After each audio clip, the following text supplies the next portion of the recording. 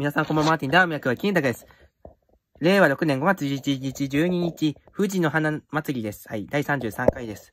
お知らせでございます。今年はいけません。11日はボーリングツアートーナメント参戦で、山形市におりますので、はい。えー、大変ファンの皆さんに申し訳ない気持ちでございます。えっ、ー、と、いろいろありまして、富士の花の盆栽や俳句大会、あと文化祭、あと昔話語り、あと富士の花写真展、あとグランドゴルフ、あとはウォーキングやハイキング、あとは藤の花スタンプラブリー。あとはお楽しみイベント。あと藤の花マルシェ、キッチンカー。いろいろ出ます。桜屋、ココイチ、マーちゃん、その他諸々あります。はい。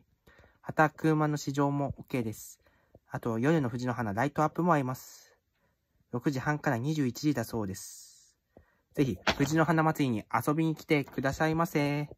はい。なお、雨天の場合や変更や中止の可能性あるのでご注意ください。以上です。バイバイ。